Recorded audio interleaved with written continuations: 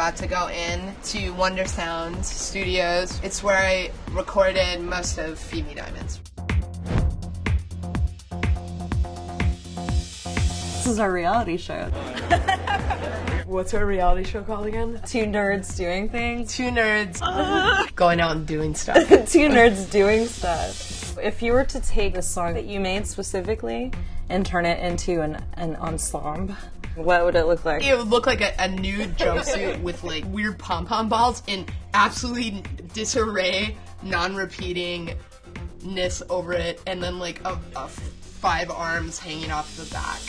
For some people, their higher calling is fashion. Whenever you're dressing someone, it's about kind of finding something in them that you can express through your clothing. In my life, uh, we always had music in our house growing up.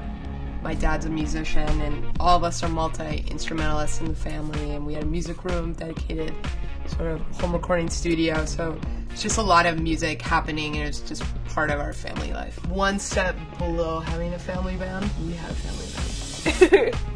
yes. Nerds doing stuff. Nerds doing stuff. Wow. That was so nerdy also. That was very nerdy for like a fashion thing.